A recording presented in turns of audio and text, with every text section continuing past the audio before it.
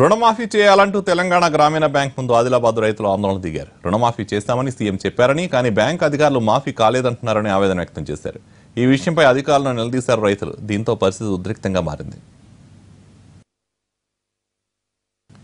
Bank వద్ద ప్రస్తుత పరిస్థితి మా ప్రతినిధి సారంగపాణి అందిస్తారు. అందరి రైతులకు రుణమాఫీ అయిందంటూ అసెంబ్లీ సాక్షిగా సీఎం ప్రకటించడంతో రైతుల్లో ఆందోళన రేకెత్తిస్తుంది.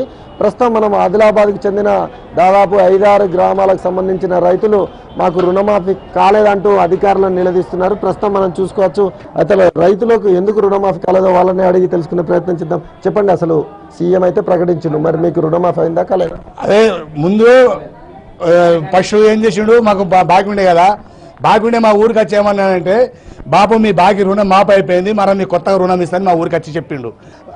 మరి సారు మరి ఇంతకుముందు మరి మా పైన ఎందుకు రాలేదని అడిగితే బాబు మీకు నాలుగో కిస్తున్నది ఈ కిస్తు లేకపోతే ఆ కిస్తుకు రావచ్చు ఆ కిస్తు రాకపోతే ఇంకో కిస్తుకు రావచ్చు. ఇప్పుడు ఏం చేయము? అని అన్నాడు. అంటే సార్ మరి ఎట్లా మరి దాని మా తర్వాయి మాకు ఎట్లా తెలియదంటే ఏం తర్వాయి తెలిసేది ఏం లేదు నీకు నాలుగో కిస్తున్నాడు నీకు ఏర్పడుతుందని చెప్పిండు. చెప్పిన తర్వాత మర్రా నేమిడికి వచ్చినాం లోన్కు. లోన్కి వచ్చారు ఆ సార్ బదిలీ అయిపోయింది ఈ సార్ వచ్చిండు. ఈ సార్ వచ్చేయమన్నాడు కదా మీ పాత బాకీ ఉన్నది మీ బాకీ కట్టంది మాత్రం మీకు లోన్ ఇయ్యరాదు అని అన్నాడు. మరి ఆ పా- కొత్తగా బాకీ తీసుకున్నాం సార్ దగ్గర ఈ సార్ దగ్గర బాకీ తీసుకుంటే ఇరవై వేలు ముప్పై వేలు అవసరం ఉన్నట్టు కట్టాల్చుకొని మాకు బాకీ ఇచ్చిండు. అతడు బాకీ ఉండగా కూడా పోయిన మేనేజర్ బాకీ ఉండగా కూడా బాకీ ఇచ్చిండు మాకు. మొత్తం ఇప్పుడు ఎంత ఉన్నాయి మీ పేరు మీద? నా పేరు మీద డెబ్బై వేలు ఉంటే ఇప్పుడు డెబ్బై వేలకు ఒక లక్ష పదివేలు అయిపోయింది. కమ్సే కమ్ నాలుగు ఐదు ఐదు ఆరు విలేజ్ల పబ్లిక్ రెండు వందల డెబ్బై మంది టోటల్ ఈ బ్యాంకులో రుణం తీసుకుని ఉన్నారు. రెండు వేల పదమూడులో ఆల్రెడీ మాఫు అని కేసీఆర్ ప్రకటించాడు అన్నట్టు మాకు తెలియదు. ఏం చేయదు? బ్యాంక్స్ మేనేజర్ ఏమన్నాడంటే మీ రుణమాఫీ అయిపోయింది. లక్ష రూపాయలకు వడ్డీ వచ్చిన పైన వడ్డీ ఆ వడ్డీ కట్టించుకున్నారు. లక్ష రూపాయలు మాఫ్ అవుతాయని. రెండు వేల పద్నాలుగులో ఏం చేసిందంటే కొత్త రుణం నలభై వేలు ముప్పై వేలు మంచిని ఆ ఎక్కర్స్ని బట్టి ఇచ్చారు.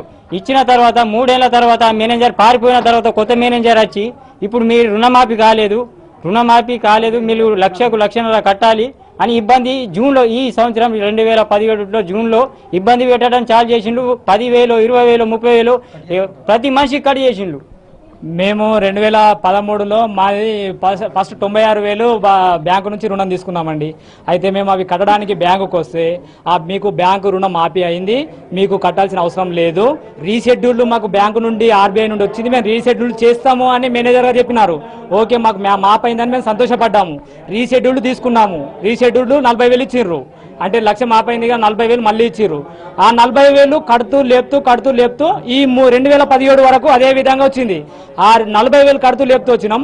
తీరా రెండు వేల పదిహేడు నాటికి ఆ బ్యాంకు మేనేజర్ గారు ఏం చెప్తున్నారంటే మీరు మీకు లక్ష రూపాయలు మాపు అవుతుంది అన్నది ఆ విషయము వాస్తవంగా మాపు కాలేదు మీకు. గవర్నమెంట్ మీ అకౌంట్లలో కిస్తుల వారి డబ్బులు వేయలేదు మీకు ఎటువంటి రూపాయి కూడా మాపు కాలేదు. మీరు మొత్తం అది వడ్డీతో సహా లక్ష నలభై వేలు అయింది అది కట్టండి.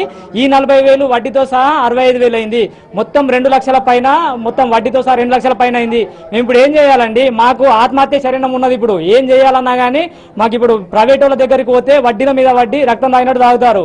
ఆ విధంగా ఇప్పుడు రైతు ఏ- రైతు అన్నవాడు ఏం చేస్తారు? ఈ ప్రభుత్వం అయితే రైతుల కోసం ప్రభుత్వం రైతు ప్రభుత్వం అని చెప్పుకోవడం తప్పితే ఈ విధంగా రెండు వందల డెబ్బై డెబ్బై తొమ్మిది మందికి రుణమాఫీ కాలేదు అని అంటే రై మన రాజకీయ నాయకులు కానీ మన సీఎం గారు కానీ మంత్రివర్యులు కానీ ఏం చేస్తున్నారండి?